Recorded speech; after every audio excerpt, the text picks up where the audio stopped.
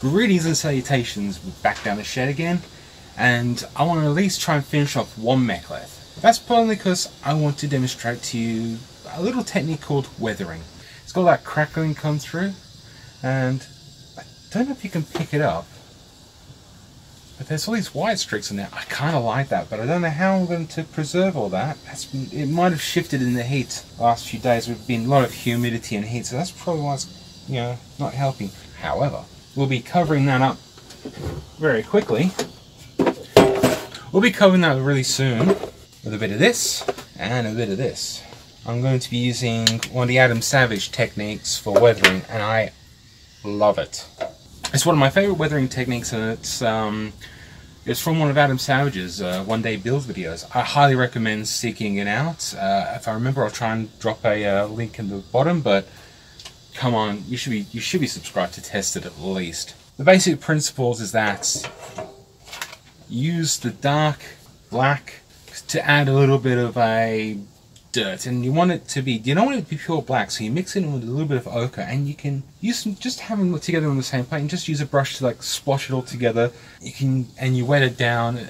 It's a long process. Uh, you don't have to be too exact. You don't have to use the exact methods. You can paint it on if you want it on. I, I prefer it on. And what you want to do is you want to get into some of these cracks, especially where there's um, something that's had a lot of use. You want to darken these edges up. And it just helps break up those basic shapes. I also notice on this, there's a lot of fingerprints that are turning up now, and I don't know why. I've tried not to touch this, but well, it's obviously it's the oils are still reacting to it. Doesn't matter. This is supposed to be a weathered prop obviously this will probably take to the paint differently to a uh, glossy one. And you especially do want to use it with glossy props I find. Um, especially will break up some of that reflection. And because nothing is perfectly shiny especially a weapon. Even just adding a bit of black actually just makes it pop. Some of this I want it to be dirty. And in fact I'm going to grab something. This bucket of rust.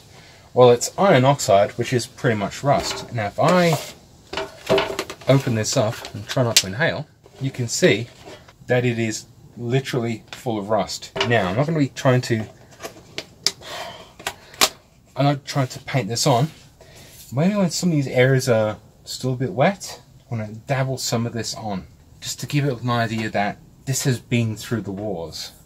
Now, they're probably going to keep the blade as smooth as possible, because that's the place where you're going to have it be sharpened but all these areas here, maybe in the back of here, anywhere that you think this is not being touched too much, that's where the majority of your dirt is going to go. And you can keep the the handle relatively clean, especially if you're going to use it, and acrylic paint will rub off. So you really don't want to do too much about that. But you know, these areas here where it's, well, that's the other thing. We're going to be using a cloth. We'll put the paint on with a bit of, with a brush, even just like this, it's a really crappy brush, but that's fine because we don't need it to be perfect. We just dabble the paint on and then we can smudge it or dopple it off. It doesn't have to be too pretty, so let's begin.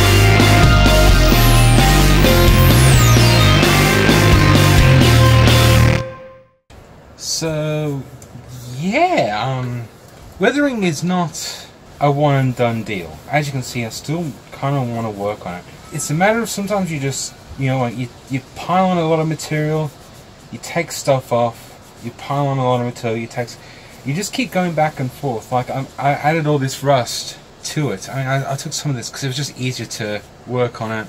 I'm trying to remember, like take take off some of this rust that's on there. I mean, rust will get on leather, but you want to kind of, you know, you're not you're not trying to say, oh look, it's this is a rusty leather. So I'm just trying to get rid of some of that. Uh, one thing I did notice is could have probably put a few more coats of paint on this because as I was going over some of these edges, it was starting to rub off the paint itself and it's revealing some of that. But I've got a cheat for that. You don't want to be necessarily cleaning with a clean rag. I mean, it's actually better if you've got a bit of a dirty rag because you, you don't want to you don't want to take off all the paint. And I like even having those little splotches there. It really it really sells like how old this thing has must have been. You know, it's something that's probably been passed down the generations. And if I really wanted to get like really deep, deep lore, maybe I can find something like a badge or something I can pin onto the uh, the handle and try and make it a bit more like a ceremonial thing or something like that. And yeah, even just I even went through and like scuffed up the leather, like the idea that you know the leather itself has been used and abused for so long that you know it's it no longer has that gleam, that glisten. Just going over it just gives it that look that it's being used. Nothing, nothing that is being used used constantly, constantly, constantly should look shiny. Oh yeah, dropping things can easily add weathering, and because it's cracked, there, I'm just gonna grab that towel. And that's the other reason why, you know, you kind of want to use some pre-dirtied stuff is because then you can just go over it when adding a bit of that to that, dab it on. There we go. I don't know if you can see that. But in the cracks there, you can see where that dust, sorry, not dust, you can see where that rust has kind of accumulated. That's real, that's real iron. So it's not done necessarily so much in there, but it's selling that idea that, you know, this thing is old. They've tried to clean it up. In fact, this is a lot better. This is easy because I'm using acrylic. If, um, if I was trying to use enamel, then you know you'd have to be you have more working time. You have a different result. I've seen some people use uh, enamels for this type of stuff. I prefer acrylic. Again, so I can just go over it with a cloth. And if I, if I find the things a little bit too dirty, I just just yeah, and just hit it with some water. Now, I've got, I'm still having these issues with the uh, with these white striations. I was hoping the paint might kick into it. I might try a bit of graphite, but I might actually try and use a bit of um, enamel and go back over them. It's time to keep it. So, now that's done, I figured, well, it's going to be a weapon that's still in use. I'll see if I've got some... Okay, I do have some chrome silver Tamiya enamel. I might use that instead of this. Just a very quick while I'm thinking about it, and I've got to shake this up. Paint is essentially two things. It's a pigment and the medium. So the pigment is the color. The medium is how the color is delivered. Acrylics tend to be water-based, uh, pigment and water. Enamels uh, tend to be oil, so pigment and oil. That's also one of the reasons why oil has different curing times. It can tend to go a bit slower, but it tends to be a bit sturdier. Uh, you can also use things like uh, waxes and stuff like that. There's, that's how you essentially get a crayon, is a pigment and wax. And then of course you get things like this, which is a pigment, which is for resin. Too much. I'm going to be using what's called a dry brushing technique. And all I'm really looking to do is I'm just dry brushing this edge. My rationale is the silver is where it's been sharpened and even an antique sword by Klingon, they would still keep it sharp and ready for battle. Weathering is telling a story. Weathering is saying, this is something that's happened to this object. Did this object get dropped on the ground which made a scratch? And did this person bother to fix that scratch? And of course I can always go back over this with some more paint afterwards. You don't want too much material on the brush because you're not trying to cover up everything else. Dry brushing is a great technique if you can uh, get a feel for it. Is you rub a yeah, you rub the paint you rub the, the paint the paint on a bit of paper. There we go. That's better. And one thing I've always loved about the Mek'leth is it's just a very simple blade. It's got a few complex curves. I mean, working with oils always have. So I'm trying to think while I'm doing this. Any places that I've got some, we think there might be add some rubbing, just add a little dry brush there. Just, just there, like. Doesn't have to be too much. This is the power of dry brushing. You essentially just hiding a little bit. Any way you think that a scrape, maybe along here as well. I'm only just to see. I'm only just using the edge of the brush. Gives it that one line. There's barely any paint on there. I still do it up if I want to, but I'm pretty good with that. Weathering isn't just darkening stuff down, it can also be lighting stuff up if it's a bladed weapon, add some silver to the edge, make to make it look like it's been sharpened. And it could also just be a recent thing, you know. Maybe this was an old ancient blade that's been sharpened up to go back to war. Because, you know, the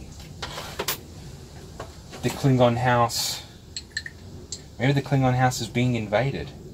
Maybe this is an old warrior who's looking for one last uh, battle to get into Sto-vo-kor. He's maybe the grandfather is sending his grandson off to war, and so he sharpened up the Mek'leth that kept him safe throughout all of his years. There's always a story you can put into a, a prop.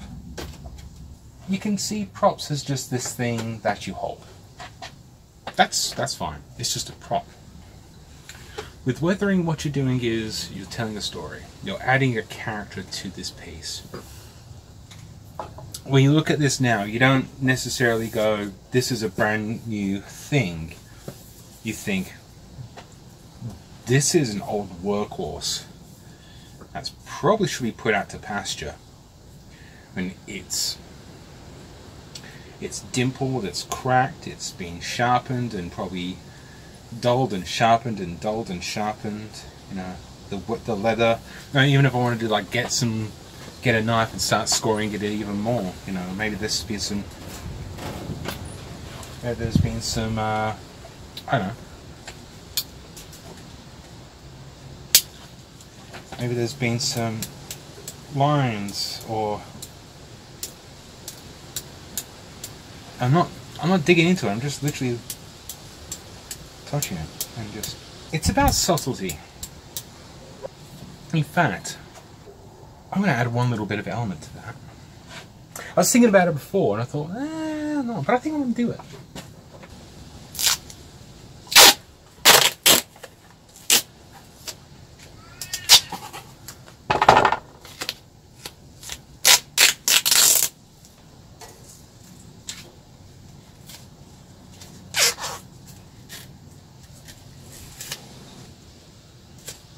I could always take this off, but maybe this particular Klingon was raiding a Federation outpost, and his Mek'leth got uh, damaged in a maybe a phaser blast just smashed it to pieces.